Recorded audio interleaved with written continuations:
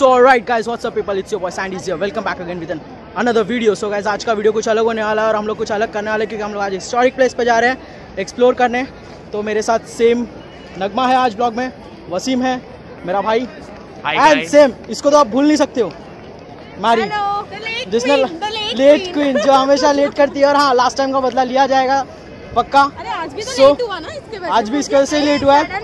सो ना। देखते सही है बहुत जाते। एंड एक्सप्लोर करते सो ऑलराइट गाइस फाइनली हम लोग अभी गेटवे ऑफ़ इंडिया पे जैसे आप देख सकते हो ये एंड लाइट्स का जैसे थोड़ा कैमरा इशू हो रहा है। तो हम लोग वहाँ पे नीचे फेरी में जाएँगे। फिर वहाँ से वो हिस्टोरिक प्लेस जाएँगे जैसे कि आपको और वो फेरी का चार्जेस है टू ट्वेंटी मैं आपको लास्ट में सब बताऊँगा कि कितना खर्चा होता है आपको जाने का और हिस्टोरिक प्लेस का जैसे आपको समझ में आ गया होगा कि थंबनेल और फ़िलहाल हमें पकौड़ी भी खाना है ये पकौड़ी अकेले ही खा गया ये मुझे कुछ बोलने नहीं देगा। आज आज मुझे ब्लॉग करने नहीं देगा सो गाइस हमें पकौड़े खाना है। पकौड़े बंद करो इसे। सो गाइज़ मैं लास्ट में आपको सब बताऊँगा कि जाने का कितना होता है। थंबनेल और टाइटल से तो पता ही चल गया होगा कि हम लोग कहाँ जा रहे हैं। मैं अभी बोलूँगा नहीं कौन सी हिस्टोरिक प्लेस है जो डायरेक्ट जाके ही मैं बताऊँगा। सो so, वहाँ पे फेरी है नीचे। सो so, जाते एंड देखते हैं फेरी के अंदर। So let's go and check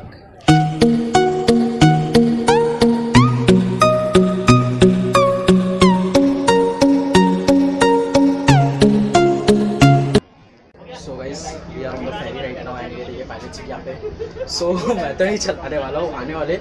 तो जब तक स्टार्ट नहीं होता, तब तक थोड़ा इंट्रोडक्शन दे देता हूँ, क्योंकि हम लोग जा रहे हैं अभी एलिफेंट केव्स हैं, वहाँ पे बहुत मज़ा आने वाला है। तो केव्स एक्सप्लोर करता हूँ। टाइटल से पता चल गया और मैं बोल रहा हूँ एलिफेंट केव्स जा रहे हैं। तो यहाँ से फेरी लेनी पड़ती है। फेरी कुछ टू ट्वेंटी फाइव रुपीज़ की आती है। मैं आपको लास्ट में बताऊँगा टोटल खर्चा कितना आता है आपको आने जाने का। सो जाते हैं एंड थोड़े बहुत सिनेमैटिक्स भी देखेंगे।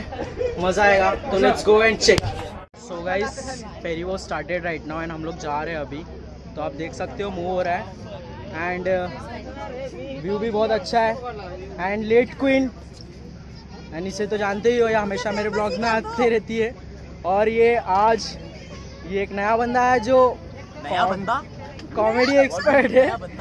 मतलब हमारे मतलब हमारे ब्लॉग के अंदर एक नया बंदा आया. मतलब ये फ़र्स्ट टाइम आया तो अब से ये भी आएगा. मुंबई आए हैं. जो भी जहाँ से भी आया है तो लेट्स गो एंड चेक देखते क्या होता है और क्या नहीं. जाते एंड थोड़े बहुत आ, अगर क्लैरिटी थोड़ी ख़राब हो रही है तो उसके लिए सॉरी क्योंकि धूप की वजह से ऐसा हो रहा है। एंड जाते हैं यहाँ के थोड़े सिनेमैटिक शॉट्स लेते हैं। देखते हैं तो लेट्स गो एंड चेक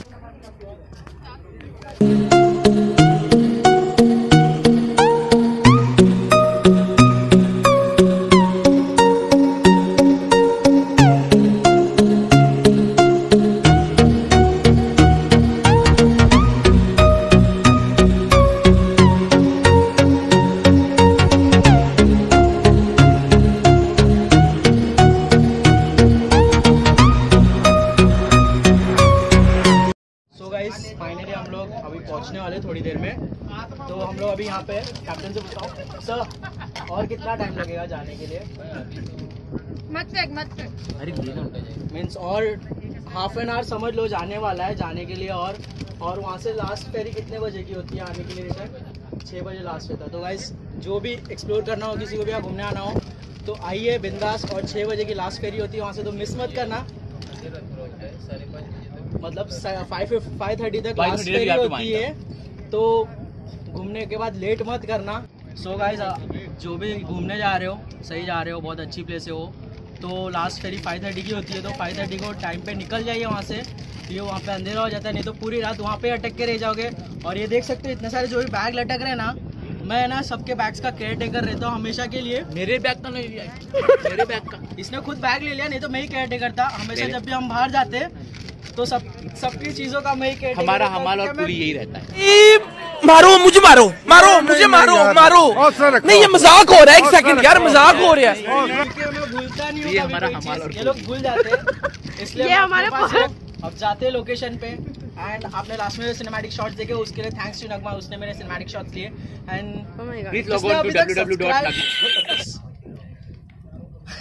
जिसने अभी तक मेरा चैनल सब्सक्राइब नहीं किया है तो जल्दी जाओ एंड सब्सक्राइब करो लाइक करो शेयर करो एंड कमेंट करो। और क्या करना मत भूलना। बेल आइकन दबाना ना भूलना। इसकी भाषा में घंटा दबाना भूलना। सो वही सो जाते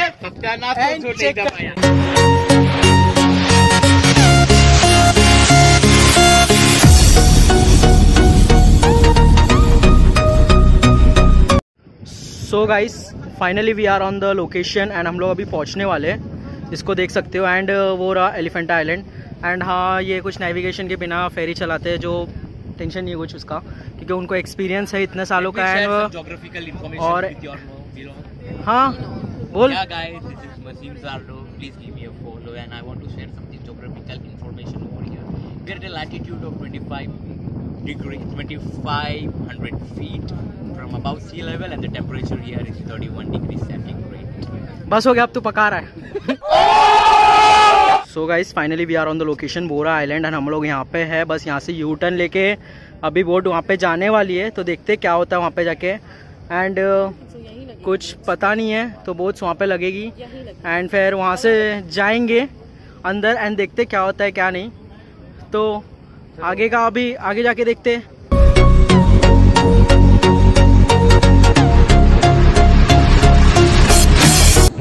So guys finally we are reach over here हम लोग आइलैंड पे पहुँच चुके हैं उतर चुके हैं फेरी से। एंड वसीम नगमा सबको तो जानते ही हो। तो अभी जाते हैं आगे से देखते हैं कैसे जाना है। बाय वॉक भी जा सकते हैं और यहाँ से टॉय ट्रेन भी जाती है। तो लेट्स सी देखते हैं। जाके चेक करते हैं। चलो let's guide so guys we are on the toy train यहाँ पे एक टॉय ट्रेन आती है टेन रुपीज़ रिटर्न टिकट लेती है। तो आप चल के भी जा सकते हो। टिकट क्या बोल रहे हैं? हाँ हाँ टेन रुपीज़ रिटर्न टिकट है। तो आप चल के भी जा सकते हो टेन मिनट्स दूर है। सो बट टॉय ट्रेन में जाने में मज़ा ही अलग है। बचपन की आदत ताज़ा हो जाती। और नगमा कुछ शिनशैन की आवाज़ में बोल जरा। आप लोगों को पता है आज मैं बैठा हूँ टॉय ट्रेन में तो मुझे बहुत अच्छा लग रहा है। सो स्पेशली शिनशैन की आवाज़ दिखाने में। एक्सपर्ट है। तो अगर शिनशैन कार्टून फिर से स्टार्ट हो गया तो नगमा को पक्का लेंगे वॉइस ओवर के लिए। सो so, भाई तो अभी जाते हैं अंदर। एंड देखते हैं। So let's go and check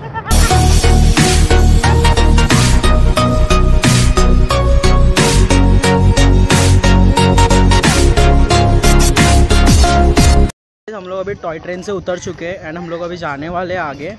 तो यहाँ पे एक छोटा सा मार्केट भी है। अगर आपको हैट्स वगैरह लेना है सो इसको इसको देख सकते हो। बहुत मस्ती करता है यहाँ पे। सो गाइस सो गाइस अभी जाते हैं अंदर और एक्सप्लोर करते क्या है, क्या नहीं। So let's go and check देखते क्या है, क्या नहीं।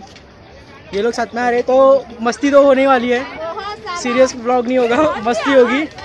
तो देखते हैं। एंड इसको चर्बी कम नहीं है, कुछ ना कुछ उंगलियाँ करते रहता है।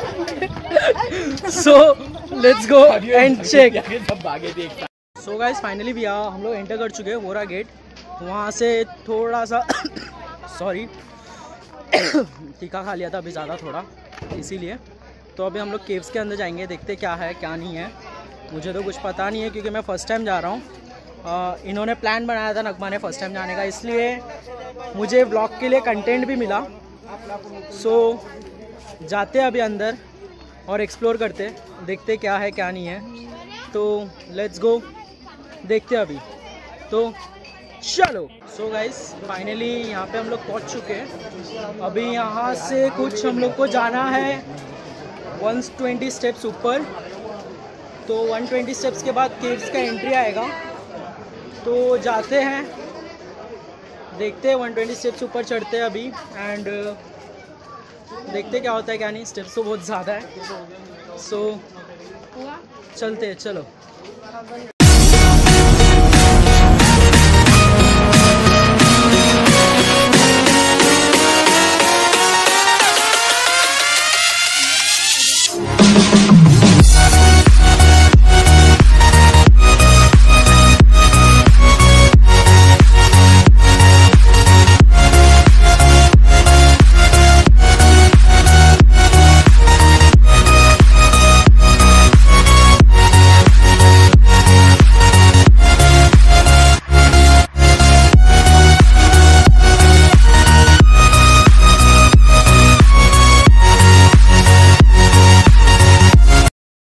So guys finally we are enter the Elephanta caves and हम लोग अभी जाने वाले यहाँ से स्टार्ट करने वाले हैं। तो देखते हैं अंदर क्या है, क्या नहीं है। तो जाते हैं, देखते हैं केव्स के अंदर। मैं तो फ़र्स्ट टाइम आया हूँ। So let's go and check कि क्या होता है, क्या नहीं। So let's go and check so वही। तो चलो मैडम जी। तो दोस्तों, इसके आगे की स्टोरी वॉइस ओवर में। एलिफेंटा केव्स महाराष्ट्र के मुंबई बंदरगाह के घारापुरी गुफाओं के शहर एलिफेंटा आइलैंड पर स्थित है। ये आइलैंड मुंबई से 10 किलोमीटर दूरी पर है। ये आइलैंड दो गुफा का समूह है। पहले समूह में हिंदू गुफा और दूसरे समूह में बुद्धिस्ट गुफा है। यह भारतीय रॉक आर्ट का एक बेहद खूबसूरत उदाहरण है। एक ही पत्थर को तराश कर बनाई गई इन गुफाओं में इंजीनियरिंग और शिल्पकारी का अद्भुत मेल देखने को मिलता है। हिंदू गुफा में पत्थरों की मूर्तियाँ बनाई गई है और जो मुख्य गुफा है, उसमें शिव जी की महिमा को दिखाया गया है। गुफा में प्रवेश करते ही आपको योगी शिवा और नटराज शिवा आपका स्वागत करते हैं। मध्य में शिवलिंग चौपाल है, जिसके चार द्वारपाल शिवलिंग चौपाल की रक्षा करते हैं। मुख्य गुफा के सामने शिवजी की त्रिमूर्ति है, जिसमें शिवजी के तीन रूपों को दिखाया गया है, जैसे ब्रह्मा, विष्णु और महेश। इस मूर्ति के कई से मीनिंग है, और ये मूर्ति महाराष्ट्र टूरिज़्म का लोगो भी है। और इस गुफा में ऐसी कई और मूर्तियाँ हैं, जैसे कि नटराज शिवा अंधक का वध शिवा, महायोगी शिवा, कल्याण सुंदरम शिवा गंगाधर शिवा, त्रिमूर्ति, अर्धनारेश्वर शिवा, रावणाग्रहा, लिंगा और कार्तिकेय, मार्तिकास, गणेशा और द्वारपालों की भी मूर्तियाँ हैं। और ऐसा भी बोलते हैं कि घारापुरी आइलैंड का नाम एलिफेंटा पड़ने का यह कारण है कि इस आइलैंड पे एक एलिफेंट का स्टैचू था तो उस पर पोर्तुगीज लोगों ने इसका नाम एलिफेंटा आइलैंड रख दिया। और आपको ये एलिफेंट अभी जिजामाता उद्यान में देखने मिल सकता है। जब इस आइलैंड पे पोर्तुगीज लोग थे, तब इन केव्स में उनके सैनिकों ने तोड़फोड़ की थी। यहाँ पे उन्होंने बंदूक से शूटिंग प्रैक्टिस की थी। इन फ़ोटोज़ को देखकर आपको समझ में आ रहा होगा कि ये बुलेट्स के निशान है। 1987 में यूनेस्को ने इसे वर्ल्ड हेरिटेज साइट डिक्लेयर कर दिया। और वो इसे masterpiece of human creative genius मानते हैं। कई लोग इन गुफाओं को मानव निर्मित नहीं मानते। और इन गुफाओं को किसने बनाया? इस पे अभी भी बहस शुरू है।